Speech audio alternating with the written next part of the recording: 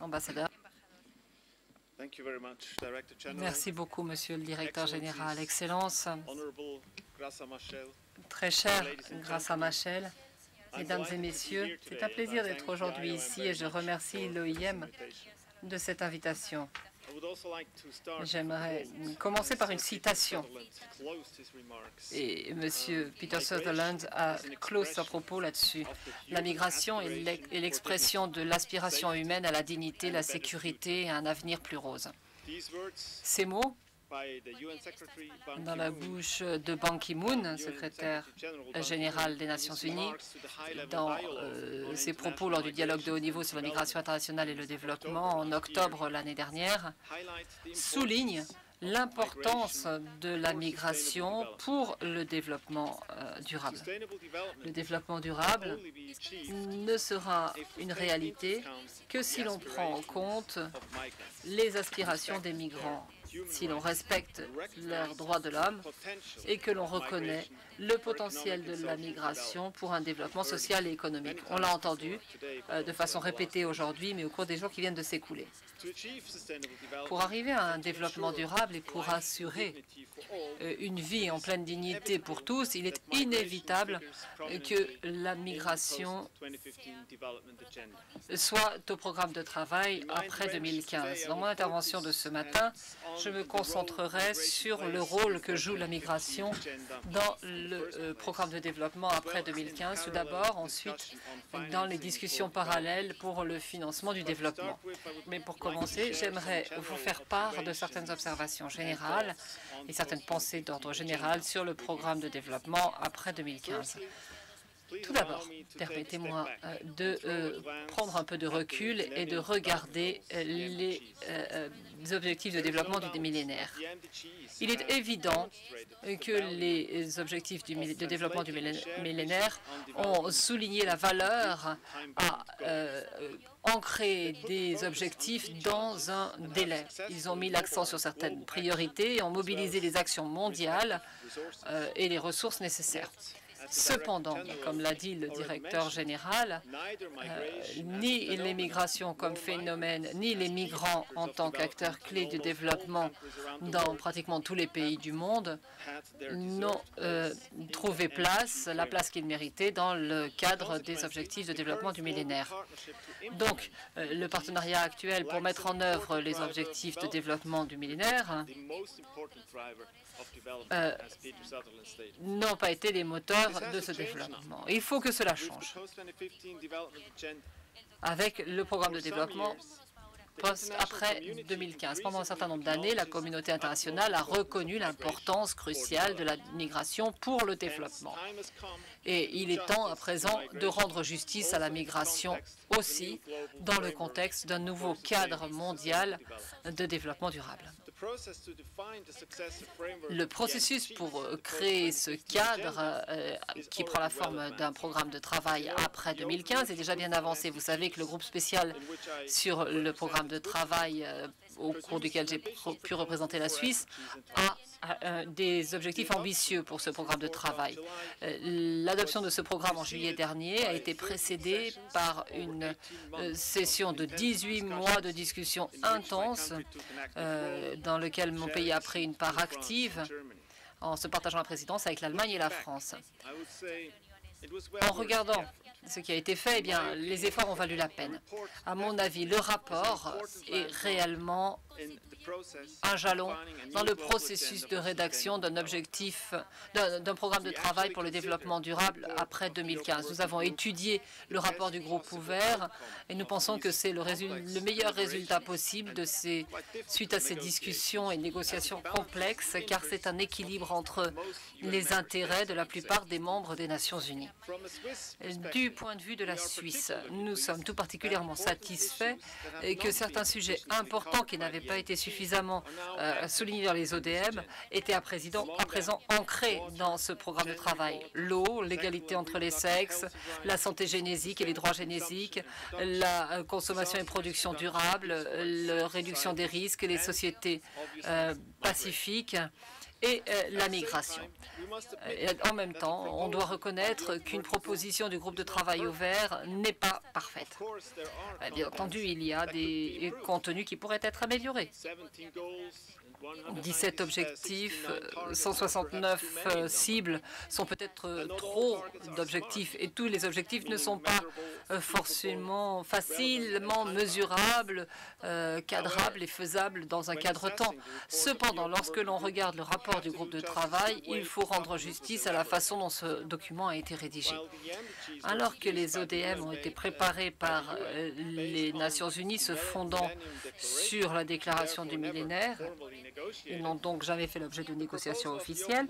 La proposition du groupe de travail est d'avoir recours à un processus réellement inclusif qui intègre pas simplement le point de vue des divers États membres, mais aussi euh, la voix de diverses autres parties prenantes, telles que la société civile, les organisations internationales telles que l'OIM, les universitaires, les gouvernements locaux et le secteur privé. Donc, si l'on regarde ce qui nous attend, il y a encore des questions ouvertes quant à la procédure que l'on va adopter. On ne sait toujours pas si les négociations et les objectifs euh, vont être négociés de nouveau ou si le processus, à présent, va maintenant se concentrer sur d'autres éléments importants euh, du programme après 2015, tels que la mise en œuvre, le suivi, euh, ou autre. Comme toute personne qui a suivi de près cette procédure, nous attendons avec impatience de voir le rapport de synthèse qui sera fait par le secrétaire général et qui devrait être publié le mois prochain, ainsi que les résultats des discussions sur les, produits de base euh, qui sont en train d'être négociés et qui auront lieu l'année prochaine. Dans tous les cas, la Suisse continuera à être engagée activement dans, cette ces procédures. Nous continuerons à nous engager, nous engagerons même plus avant pour euh, s'assurer que la Suisse substance ambitieuse des objectifs euh, fixés ne seront pas édulcorés, que la migration restera et aura une place prédominante dans ces objectifs euh, après 2015.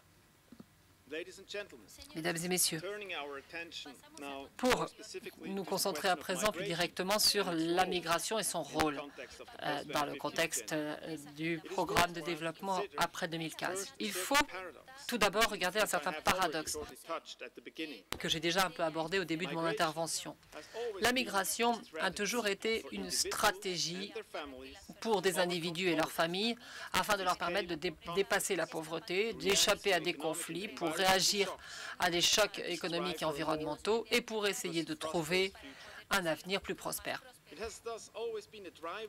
Ça a toujours été un moteur du développement durable ce fait. Et cependant, ce n'est que récemment que ce sujet a attiré l'attention internationale. Peter Sutherland nous a déjà dit euh, que les initiatives politiques ont eu lieu uniquement l'année dernière à partir de l'initiative de base et pour soutenir euh, la Commission euh, pour le développement durable, pour les engagements en faveur du Forum pour la migration et le développement, ainsi que l'engagement engagement euh, au sein de projets tels que le partenariat des connaissances sur le développement, le NOMAT, la Suisse a toujours été pionnière pour euh, alimenter le dialogue sur la migration et le, développement, et ce, depuis de nombreuses années. La décision prise par mon gouvernement déjà en juin 2013 que de faire la promotion active de l'inclusion de la migration dans le programme de travail après 2015 comme une des ambitions clés, à notre avis, et donc information un prolongement logique de cette politique de base. J'aimerais citer trois arguments clés qui expliquent pourquoi la contribution des divers migrants du monde en faveur du développement doivent être reconnus dans ce programme de euh, travail après 2015. Tout d'abord, et principalement, la migration, ce sont des personnes. Ils ont des droits de l'homme et ils ont des libertés fondamentales. La migration, c'est une expérience humaine et c'est euh, le résultat commun d'opportunités ou de manque d'opportunités d'ailleurs. C'est le fait de comprendre la volonté des personnes à dépasser l'adversité et à vivre en paix et en sécurité. Deuxièmement, la vie est importante pour le développement durable et la réduction de la pauvreté. Des preuves du monde entier viennent souligner le fait que les rapatriements de fonds, par exemple, contribuent à la réduction de la pauvreté et stimulent le développement humain. Avec la plupart des migrants qui vont d'un pays moins développé vers un pays plus développé, ils réalisent en général des gains importants pour eux et pour leurs familles, leur communauté en termes de revenus propres, ainsi qu'en termes de santé ou d'éducation. Troisièmement, la migration est importante pour la croissance économique et la création d'emplois, tout particulièrement. Il s'agit aussi d'un transfert de connaissances et de technologies, le fait de satisfaire à des écueils, de pallier des écueils importants du marché du travail, de changer euh, les attitudes dans nos sociétés. La migration fait la promotion de l'innovation, génère des euh, emplois, aide à développer et ouvrir de nouveaux marchés, consomme des produits, consomme des services, euh, crée des revenus en, sous forme d'impôts et vient au secours des pays ayant une population vieillissante, etc. etc. Donc, avec une coalition croissante de gouvernements, d'organisations internationales et de sociétés civiles, ainsi qu'avec des universitaires, nous avons tous ensemble réussi à arriver à ce jalon historique que de faire euh, inscrire la migration et tous les aspects de la migration, euh, inscrire donc dans la proposition du groupe ouvert dans le rapport du groupe ouvert pour les objectifs après 2015. Et j'aimerais tout particulièrement euh, souligner le, soutien de l'OIM et euh, le représentant du secrétaire général, Peter Sutherland, qui nous a beaucoup aidé. Je ne sais pas s'il est toujours en contact avec nous.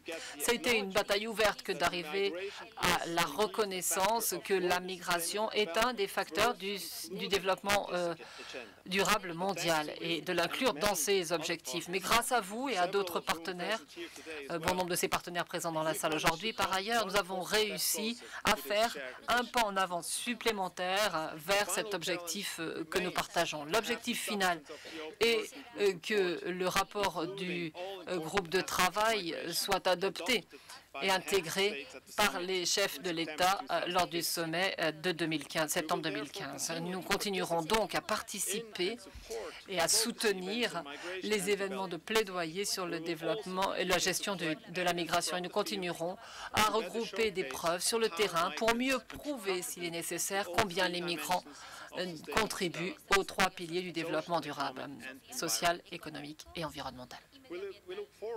C'est avec impatience que nous attendons de continuer à travailler étroitement en collaboration avec tous nos chers partenaires. Donc, mesdames et messieurs, pour conclure, permettez-moi de rapidement répondre à la euh, question sur la troisième question sur le financement pour le développement qui aura lieu à Addis Abeba en juillet l'année prochaine.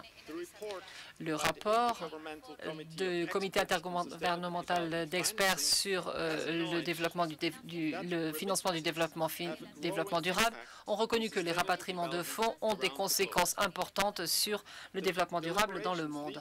Les délibérations nous ont amenés qui nous amèneront jusqu'à la conférence d'Addis Abeba, nous donnent la possibilité unique que de proposer des changements politiques et des mesures innovantes pour faciliter l'utilisation productive des rapatriements de fonds comme transactions euh, privées en faveur du développement durable. En tant que gouvernement, nous avons les moyens euh, de faire la promotion de conditions cadres pour mieux soutenir les migrants qui décident volontairement de renvoyer de l'argent vers leur famille ou d'investir dans leur pays d'origine. Nous euh, souscrivons entièrement à la nécessité de réduire le coût de ces rapatriements de fonds et nous défendons un objectif final inscrit dans la proposition du rapport. Mais nous pensons aussi qu'il est nécessaire de faire la promotion d'une pensée innovante. Le marché peut offrir des économies ou des investissements ou des produits faits pour ces rapatriements de fonds.